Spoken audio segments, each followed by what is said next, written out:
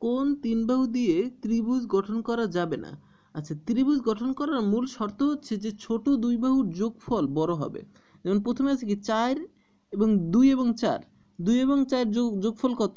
ছয়। ছয় কি পাঁচের চাইতে বড়? অবশ্যই বড়। যেহেতু বড় হয়েছে, তার মানে এইটার দ্বারা ত্রিভুজ বানানো যাবে। পরেরটা দেখি, ছোট দুইটার যোগফল করব। চার আর পাঁচ হচ্ছে নয়। যেহেতু এটা ছয়ের চাইতে বড় এইটা দ্বারাও ত্রিভুজ বানানো যাবে। এরপরে তিন নাম্বারটা দুই এবং চারের যোগফল কত? ছয়। এটা তো আর সাতের চাইতে বড় না, ছয়। যেহেতু ছোট, তার মানে এটা দ্বারা ত্রিভুজ বানানো যাবে না। মনে রাখতে হবে যে ছোট দুইটাকে যোগ করলে তা পরেরটার চাইতে বড় হবে। তার মানে এই ছয় যেহেতু সাতের চাইতে বড় হয় নাই, তার মানে এটা দ্বারা ত্রিভুজ গঠন করা যাবে না।